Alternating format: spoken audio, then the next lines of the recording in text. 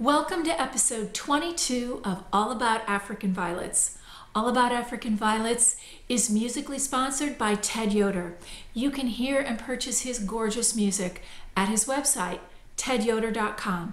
It's also available from iTunes. Well, hi everybody. Welcome to my sunroom. Come on in and sit down. And you know, I can see in the monitor the red star. It's right above my head, and I keep thinking that a piece of my hair is like really red and sticking really far up. Sorry, I should have adjusted my chair. But uh, but welcome, welcome. I'm glad you're here. I hope you had a wonderful Thanksgiving. We're going to talk about a couple of things today. We're going to talk about pH because you guys have asked me, uh, more than one person has asked me about it. And we're also going to talk about consistency of care. And these are two things that um, I think are important and can really help with your violets. So we're going to jump right into tips and treasures. And oh, before though, I do that, I just want to show you, this is the Mason's twine that I use. This is the most recent uh, spool of it that I got. It's pretty large. This is a 29 year supply, you guys. I mean, this will last. The last ones I had, I mean, they lasted forever before I ran out. And it's nylon, it's 100% nylon. And this is the, the, the finest grade or size or uh, I don't know, diameter, width of the of the of the twine itself. This is the number 18 grade. And that's what I use the most. There's one there are it comes in thicker grades as well. But this seems to work really well for me for everything. I have occasionally used the next grade up from this for standards, but quite frankly, this works just as well. And unless you have bazillions of plants, this truly is a, a really big supply. You'll have it forever. So I just wanted to, to tell you that. Um, also, uh, oh no, that was it. So let's let's let's go right into tips and treasures. So let's talk a little bit about pH first, and then we'll talk about consistency of care. Um, pH is one of those things that you don't really have to think that much about, believe it or not. I um, I shoot for. I mean, violets like it between about 6.2 to 6.9. Um, I marked pages in, in Pauline's book about pH, and there are multiple references in Joyce and Kent's book about pH. Both of these have great info. So if they're not on your shelves yet, um, pick them up. It's Christmas time, or put them on your Christmas list, uh, and hopefully you'll um, you'll get one. These they're both really good investments. You've heard me say this so many times, but I really can't emphasize it enough. I, those are the those are two in the top three. The other is the Judge's Handbook, and which also has great information about pH. I'm sorry, you guys. I think my nose is running. I should have got a Kleenex. I apologize. I was it was cold on the way home, I guess. Sorry, momentary technical difficulty. I'm back now. anyway, I was going to tell you that I did write to Joyce and ask her because, as always, when I don't have a technical answer for something because she's the scientist and I'm not, I always ask her. And so I said, Have you got any words of wisdom about pH? And she says, A few words of wisdom about pH. If a grower repots into fresh potting mix at least once a year, there usually won't be many worries about pH. If the local water source is quite acidic, below six, it might be helpful to use a product to raise the pH.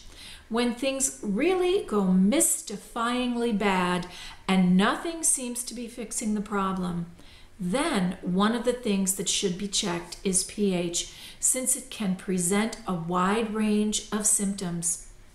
The reason pH problems are so varied is because the pH determines what nutrients are available to the plant. So if nitrogen isn't available, the violet looks chlorotic or yellow. If the pH fa favors the absorption of copper, the center of the plant may dwarf. And she, then she says, but before I would test anything, I would just repot to see if that fixes the problem. So then I said to her, well, my tap water is very high. The pH is very high. Um, it goes off the chart, which this is the little chart that came with my little pH test kit, and it, it goes way off this end, off the blue side. And I said, Well, mine is really high. And I said, So I run it through a Brita pitcher, and when necessary, I use pH down. This is an aquarium product called pH down. They also make one called pH up. they do.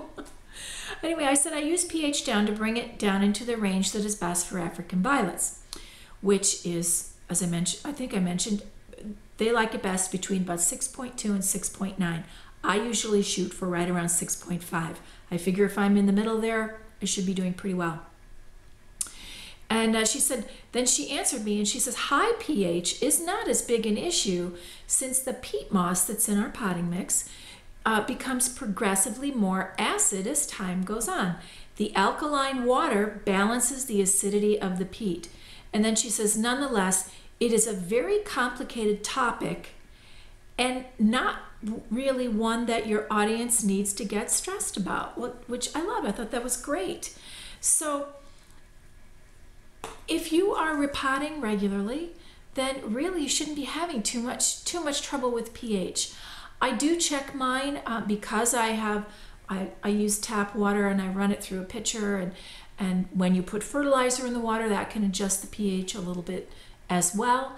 Um, I just try to keep it in that range and the tools that I use for that, as I mentioned, I use pH down. It's only a few drops in, in a gallon of water and I have the, you know, I mix my water up by the gallon. I don't have millions of plants. And then this is also um, a pH test kit for water. Um, this brand is Beckett. This is also really old. This is a 29 year supply of pH test. It came with a little tube. You put the water in the tube up to the line. I don't know if you can see the line there. And then you put three drops of this in the water and then shake it up, and then the color, the water will change color, and then you use, you use, I didn't want to flip it over upside down. You use the scale, and then I usually, you know, will hold this up and match the color, and that will tell me if I need to maybe put a couple of drops of pH down in the water. For me, it's never the other way around. It's always that my water is high in pH and I need to drop it down a little more. So, so that is really what you need to know, I think, about pH. But it really ties into something else I wanted to talk to you about today, which is um, something that Winston Goretsky, who is the, the photographer uh, for the African Violet magazine, talks about as consistency of care. And the treasure that I have for you today is an interview with Winston that he sat down with me when I was in Tulsa uh, earlier this year at the Missouri Valley Show and talked about violets and talked a little bit a bit about his photography. And one of the things he talks about as well is consistency of care.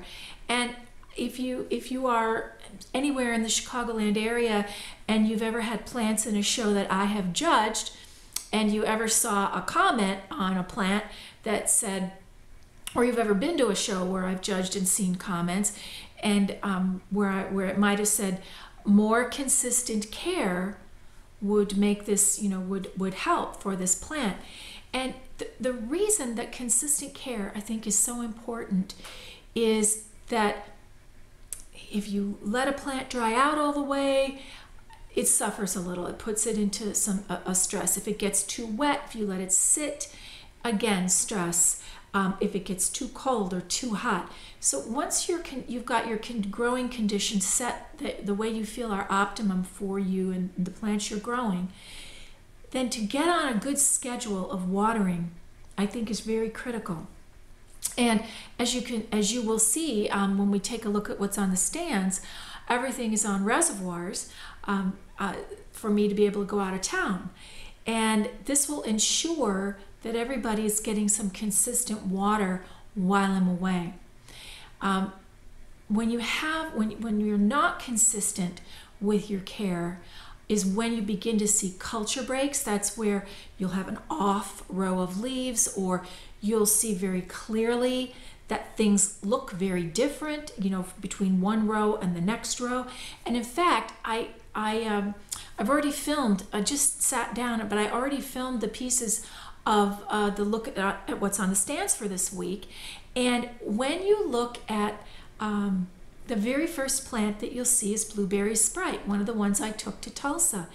And I think you can see very clearly the outside ring of leaves that are marred and you know those were the ones that were that came it came home with me from national i i, I repotted it i i forced it to grow pretty quickly and forced it into bloom to take it to tulsa.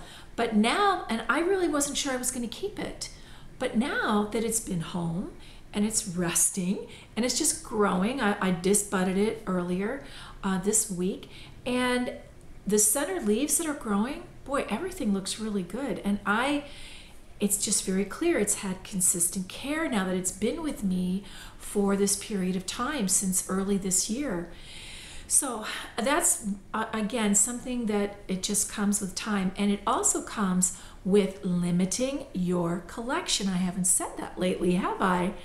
When you have too many things to take care of, being able to provide consistent care becomes difficult and challenging. So, uh, just another reason to limit your collection. Well, I want to just tell you a little bit about Winston before we run to that, that piece of tape, video, recording. Tammy, I'm sorry. um, but anyway, Winston Goretsky is the second vice president of the AVSA. He's from Calgary, Alberta, in Canada, and he and his wife Laurel, and you may recognize her name, Laurel Goretsky, writes the Small Talk column in the magazine. And uh, they grow a substantial number of plants, as you'll hear. And he is a grower, he's also a designer, and as well as you already know, takes the so many of the almost all i would say of the fabulous photos that you see of plants in the African Violet magazine. So take a look. I hope you enjoy.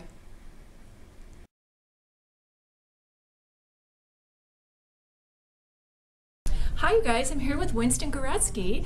He's here all the way from Canada, and he graciously agreed to sit down with me and take a, to have a little chat. So hang on for just one moment, and that's what we're going to do. Okay, here we go. So Winston, thank you so much for sitting down oh, with me. This is great, and I and um, you guys, Winston is really well known in Canada for a lot of different stuff, and he's a great, great photographer. A lot of the photos, almost all, almost all of the photos I think that you see in the African Violet magazine are photos that he has taken. He shoots film all the time at every show and all of those beautiful things that you enjoy came from his art. So thank you. Oh, you're welcome. Well, how did you become interested in African violets? Well, um, I started growing African violets um, mostly because of my grandmother. I was about okay. six years old, okay. and she lived out on the farm and uh, she would send me home at the end of the season with a box of African violets. No kidding. And she would say, "Your job is to keep these alive until next spring because there's no heat in the house, and if I leave them out on the farm, they'll all die." So that was my challenge for the year. I would have to take these plants home and keep them alive through the winter and start new slips so that I could keep some and bring some back to her okay. the next year. So I did this back and forth for several years. And well, how uh, old were you? Well, I started around when I was six, and okay. when I was around 12 years old, I got a job at a, at a greenhouse, and they grew African violets.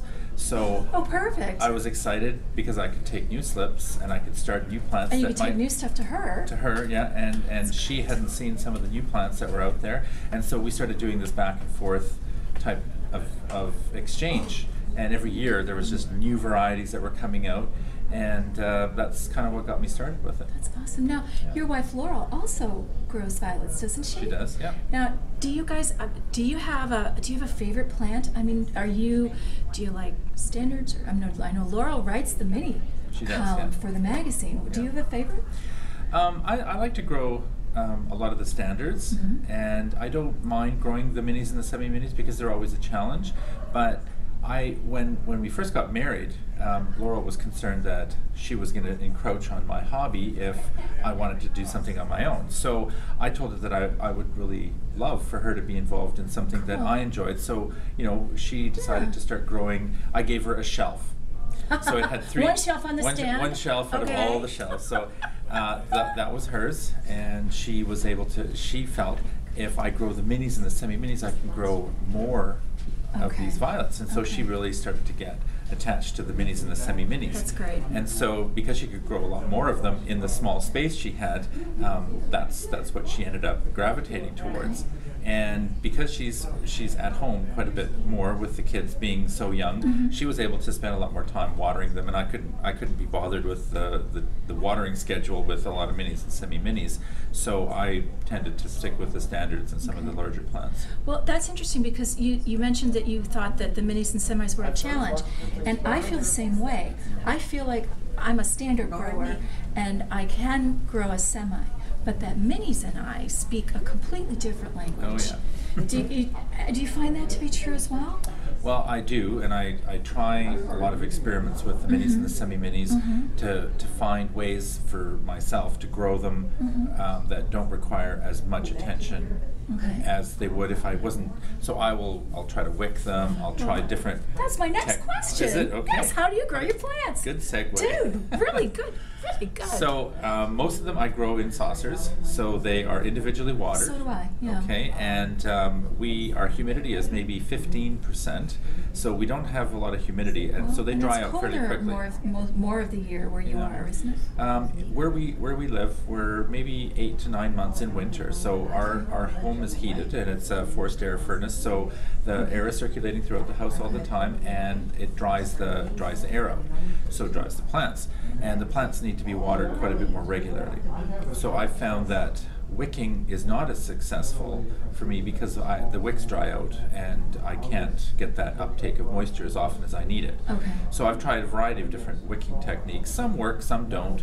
And uh, because we grow so many plants, it's hard to keep the soil mi- mixes separate for plants you're planning on wicking and plants that you're just going to grow in saucers. And I've tried tray watering and things like that. But I find that um, plants grow best when you when you spend time with them. And it's a consistency of care issue.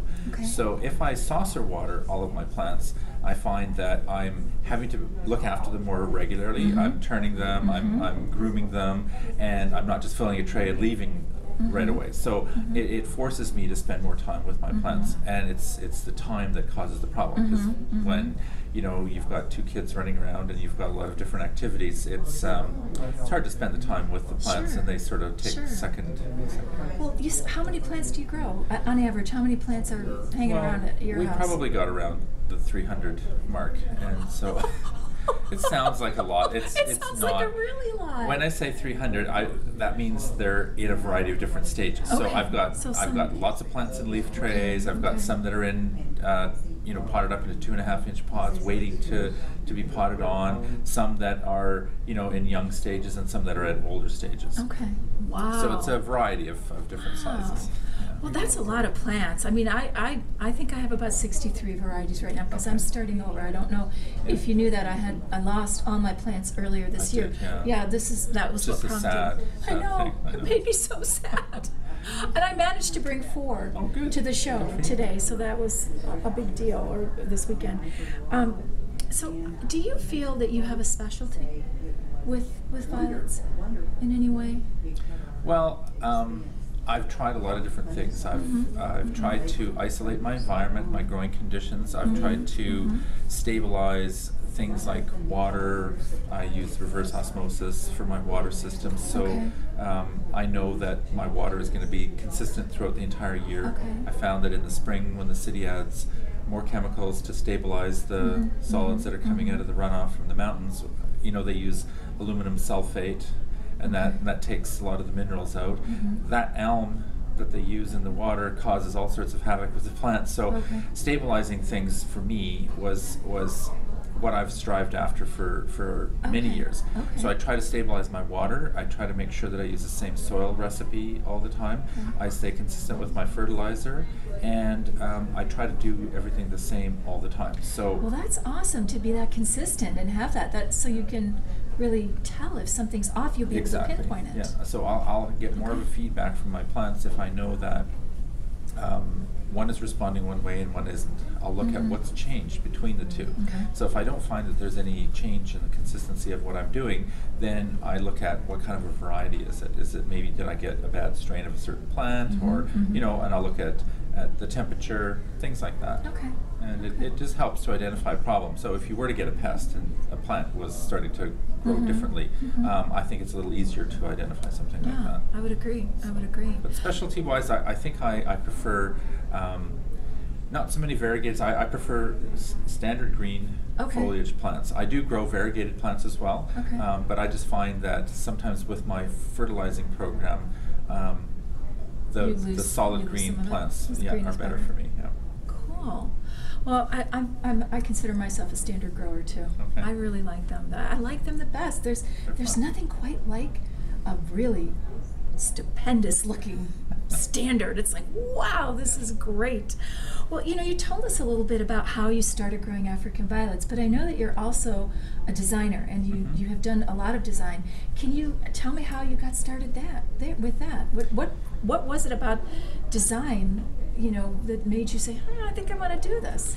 Well, um, when I first got involved with the, the Violet Society, I I wanted to become a judge, and so as a part of being a judge, you have to learn how to judge design. Mhm. And I and I had a workshop by, um, gosh, it goes back quite a few years. Uh, Bob Green, can't remember where it was. Maybe it was in Florida, Okay. in the '80s. Uh, he did a workshop on design, and he said, if you're going to judge design, you need to know how to do design. Mhm. And I thought that's that's an excellent way to Mhm. get involved. So I Mhm. thought, you know, if I can learn how to do how to put designs together, how to how to create the mechanics for, you know, executing certain styles of Mhm. design, Mhm. then I would better have an appreciation of the types of designs that other designers were Mhm. doing Mhm.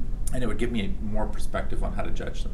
So um, I was constantly looking at the designs at shows and looking at what other people had done. I'd found books on design and learned all the principles and the elements of design, Mhm. and just experimented over you know years and years. And um, being in a local club, we're always looking for programs, and, and Sure. everybody's always wanted to do design programs. So design programs became something that I was, you know, having to teach. So um, when you have to teach something, you have to learn it to know it better than than just doing it on your own. So that sort of forces you to kind of get involved with it a lot more in, in depth. So I, I like the challenge of design. I like to try to, um, you know, interpret the themes that are, Sure, are being done. So sure. it's fun. It takes a lot of time, and Yeah. it's something that I'd like to do a lot more of because Mhm. when I come to conventions, I can't bring plants with me, but I can bring design materials and things in my luggage and then assemble something when I get Yeah. here. So I'm looking forward to being able to do more of that That's in the future. exciting. Well, you know, speak to us about your art and your photography and what you do because the photos in the magazine are always just so gorgeous. I always feel like I could just reach in and pick it right up, you know? And I, I that's what I go for before I even read the articles. I'm like, what's in here? What's the, you know, and, and they're nearly always a photo that you've taken. How did you start? What, how did that happen? Well, my, my father used to um, buy cameras a lot, and he would take photos. And I learned on his old equipment. Whenever he'd buy a new camera, I'd you know be allowed to look at his old the old equipment. one. Oh, and okay, he would never good. he would never give it to me. I was allowed to use it, so I would have to be very very careful with it. I'd it have back. to demonstrate my ability to understand what it did and how to use it. And so I would I would just practice with you know taking different kinds of, of photographs. And when you're shooting with film, Mhm. um, it was very expensive. I know. so you I had used to be to very shoot a lot with film yeah. myself. Yeah. You have to be very careful with what you did, and you'd have to make sure that all of your, you know, your settings were precise, Mhm. and you know that you wouldn't just snap a whole bunch of shots to see what, you know, what came out of them. Because uh, to to burn through a roll of thirty six shots, you know was fairly expensive Back just to see what the result yeah. was going to be like. So uh, you had to be fairly careful with it. So I spent a lot of time, and the things that I grew a lot of were African violets. So I had a lot of subject material to, to photograph, and I'd always get Perfect. excited about you know when a new violet would would bloom, and I would you know get my my dad's camera out, and I would you know take a few more shots of Okay. the blossoms as they were opening, and I'd experiment on depth of field and how I could you know best Mhm. present that blossom so that it was as true to life looking as, as I could. And uh, that's kind of how I got started originally.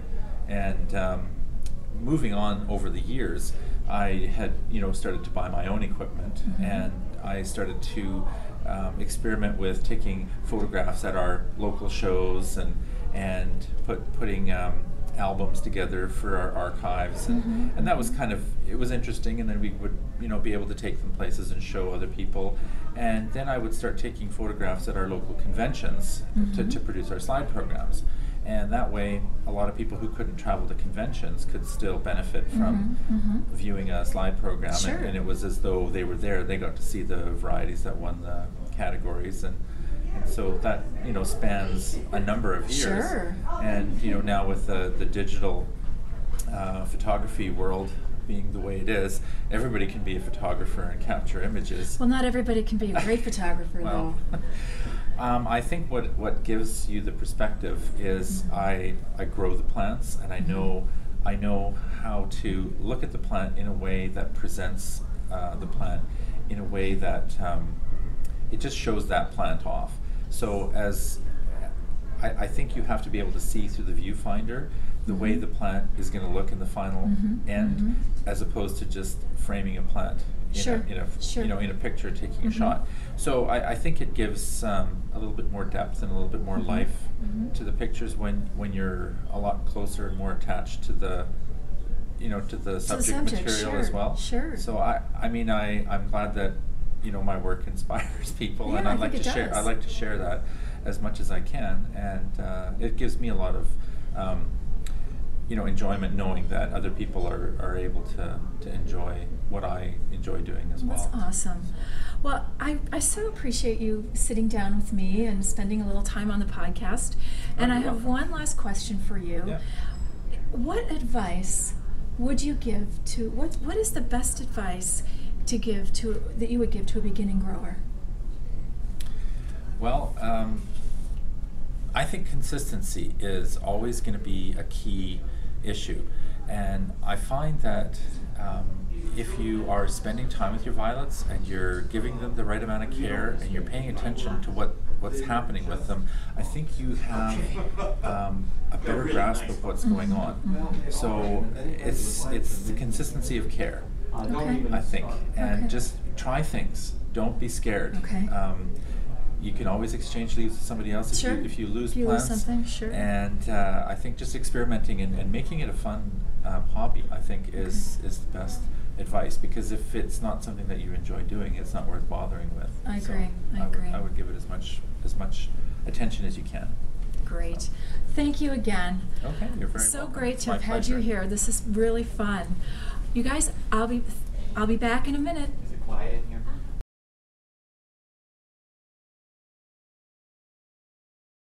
Isn't he interesting?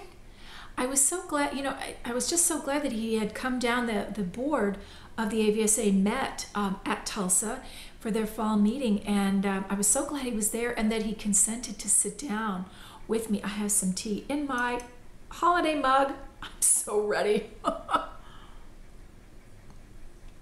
so, well, let's take a look quickly at what's on the stands. I want you to see that um, the first plant that you're going to see is Blueberry Sprite. So remember earlier I mentioned consistency of care. You will see that, that bottom row of leaves and um, I think you'll see what I'm talking about. So I'll see you on the other side.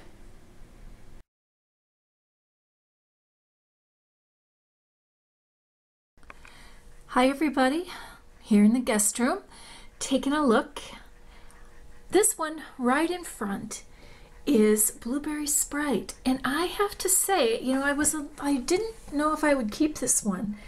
But as the new growth has been coming in, I'm very very happy with it.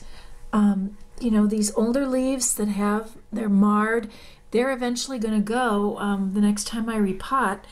And I think that this is going to be a great plant. It sure was a prolific bloomer, so I'm excited about that. Western Moon, looking good. Pink Pussycat. And over here is Rob's Antique Rose. I really took a lot of leaves off of it. And you'll notice everyone is on reservoirs. Let's look up at the top. Aha, Little Creek Girl finally coming into bloom. I think it's going to be blooming true. It looks darker on the top. Two petals. It's kind of hard to tell on this on the camera, but I think it's going to be fine. And uh, there's the box of joy. You kind of see it from the side. Everybody, everybody looking great. Let's go downstairs. You guys, look! The Smithiantha's blooming. I've never seen one before. Oh, I'm so, this one's getting ready. Just starting to bloom. Wow, this is exciting. I mean, it, it doesn't seem to be open all the way, but, but boy, it looks really cool. That's exciting. I took the dome off so you could see it a little better. Over here is my little Episcia hanging out in the dome. Let's go over and look on the stand. Here are the trailers. And you guys, uh, this looks like it's a full double blossom. I do not know what it is, but it I don't think is Cherokee Trail, but I'm I'm going to check again. Everybody else looking pretty good there.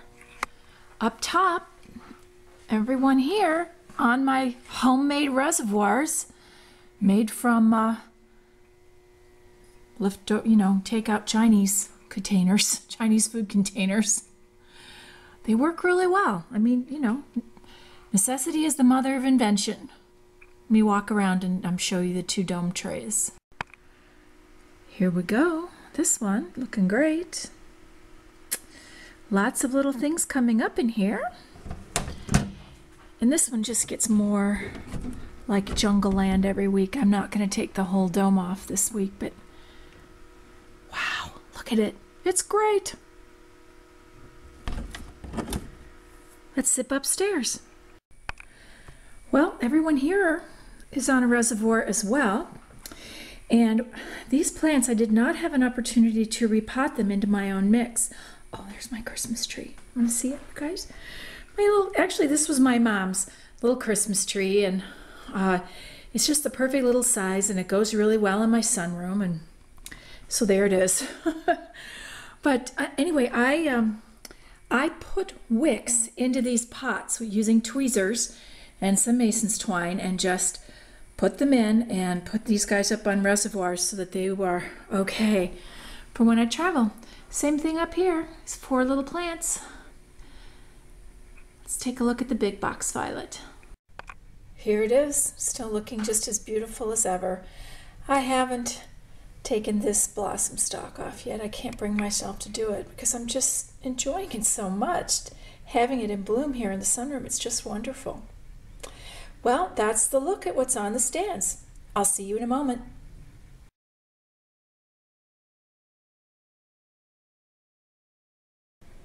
So did you see what I was talking about with blueberry sprite? Really interesting, isn't it? So you'll find this with the plants that are in your care that sometimes they just need a little time to settle in. I've had those since um, when was National May, June? It was early this year, and uh, and they're just that one and uh, Rob's Antique Rose, which I know it's kind of hard to tell on the on the the video, but I took a lot of leaves off of that this week just because I wasn't liking how they were looking. So I'm going to give it, but the center was looking good. So I'm going to give it another chance and see how it does. How cool are those blossoms on the Smithiantha? I was so excited to see those. I'm like, oh my goodness. Now I don't, they just look like little long balloons right now. I, I don't know if they're going to open up all the way or, or what they're going to do, but uh, hopefully, if they do that, they last for more than a week so we can look at them next week and I can show them to you. So, well, it's, uh, it's time to get the bail money ready. well, there's no place to get the bail money ready for, but there will be in the spring. So, believe it or not, I mean, we're just headed into the holiday season here. I mean, Thanksgiving, we're just headed toward Christmas. But the spring shows are going to be here before you know it. The Illinois, the Illinois African Violet Society's show is going to be on Saturday, April 6th. Well, remember the pre show schedule that we talked about um, in early episodes of the podcast when I was getting ready to go to show uh, in Missouri Valley? Well, I'll be having plants that are going to go back on the pre show schedule again. That's 12 weeks out from show. So that's about three months. So I'll be looking at that and repotting and, and doing all that stuff in December when I am back for my little holiday. And uh, things will get on the schedule in January to be ready for April. So think about that. Is there a show you might want to enter in the spring? Is something coming up? Something new? Have you ever entered a show? If not, and there is a show, uh, you know, you, you belong to a club or there's an affiliate close to you that you've been thinking of joining, now might be a good time. Because every time, I'm, every time that I have ever taken a plant to show, I learn something. It makes me a better grower every time I go. So I can't encourage you to any more than that. I mean, it is, I really strongly encourage you to consider, even if you just enter one plant in the show, what have you got to lose? Nothing. And you'll learn something. Well, and now it's time to keep moving forward. Again, I hope you had a wonderful Thanksgiving. And as we head into Christmas, I hope that your days will be filled with all the things you love good growing. I'll see you next time.